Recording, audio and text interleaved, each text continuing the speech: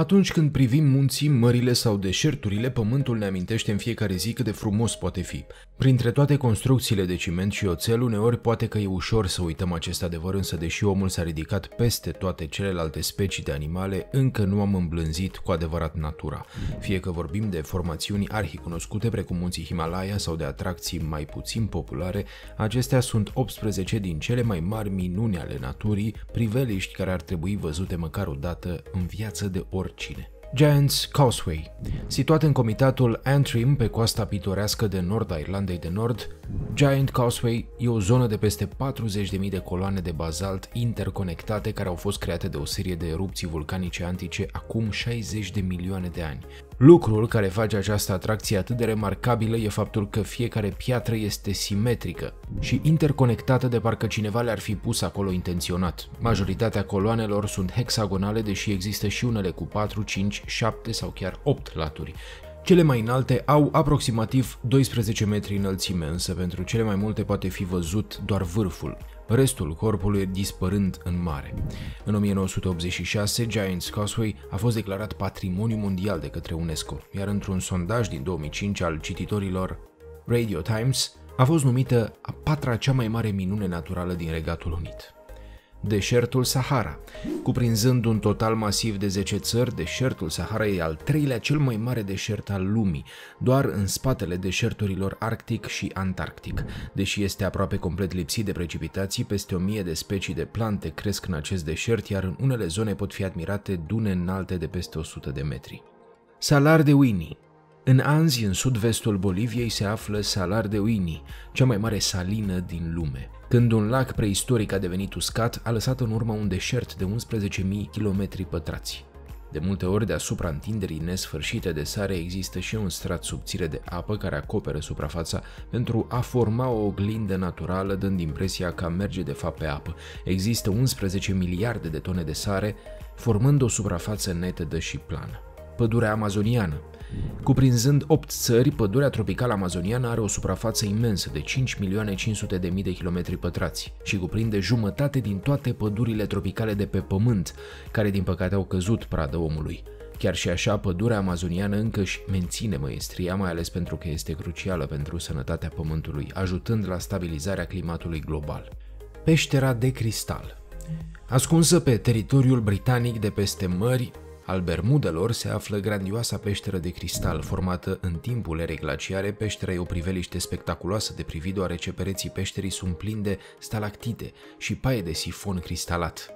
De fapt, o plimbare prin această peșteră se poate simți ca vizitarea unui parc turistic natural. Faimosul autor, Mark Twain, a fost primul turist care a coborât în această locație numind-o cea mai frumoasă peșteră din lume.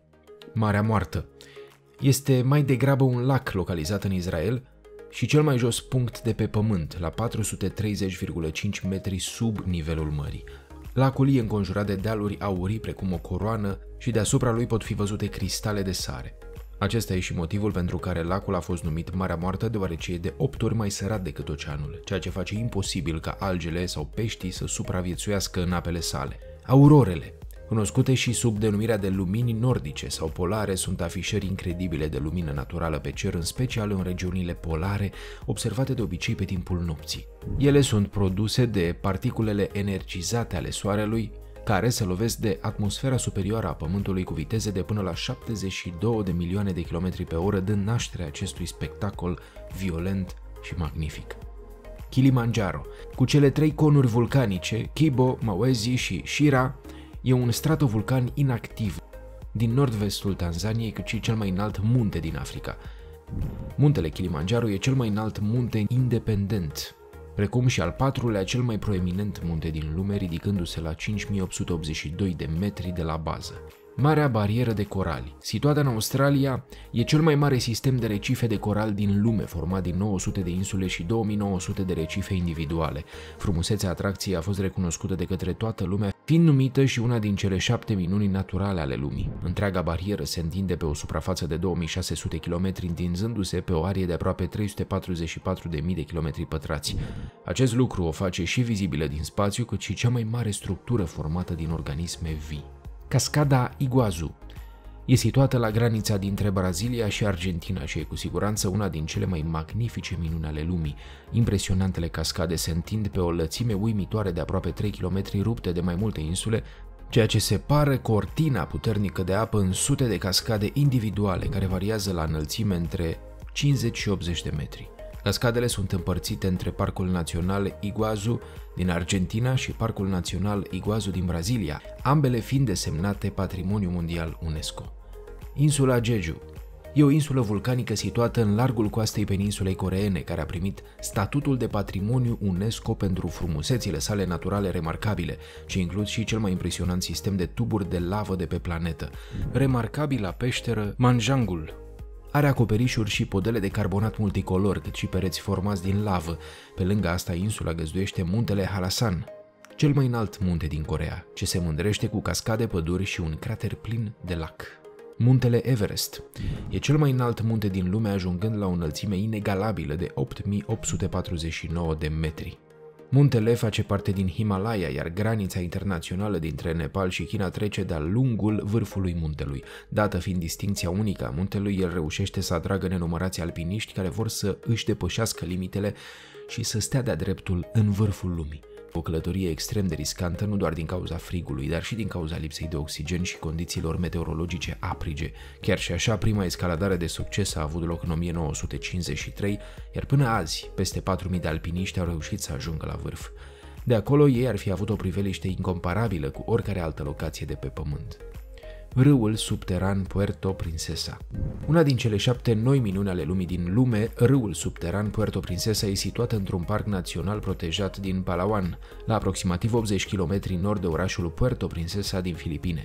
Parcul a fost desemnat ca sit al Patrimoniului Mondial UNESCO și conține cele mai uimitoare peisaje de calcar din lume, inclusiv un râu subteran de 8 km și un sistem de peșteri care se deschide direct în mare. Cano Cristales, situat în lanțul muntos Serania de la Macarena din Columbia e probabil cel mai interesant de pe întregul pământ.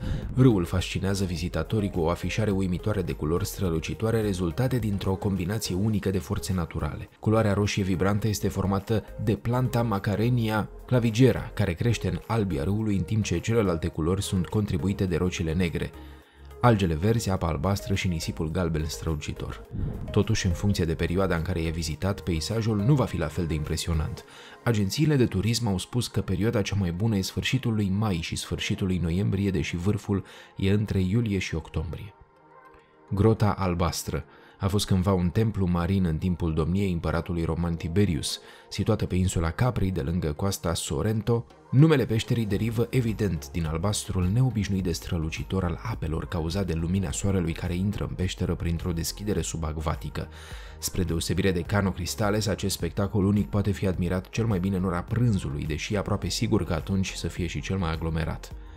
Cascada Niagara Aflându-se de-a lungul graniței internaționale dintre Canada și New York, trei cascade alcătuiesc magnifica cascadă Niagara.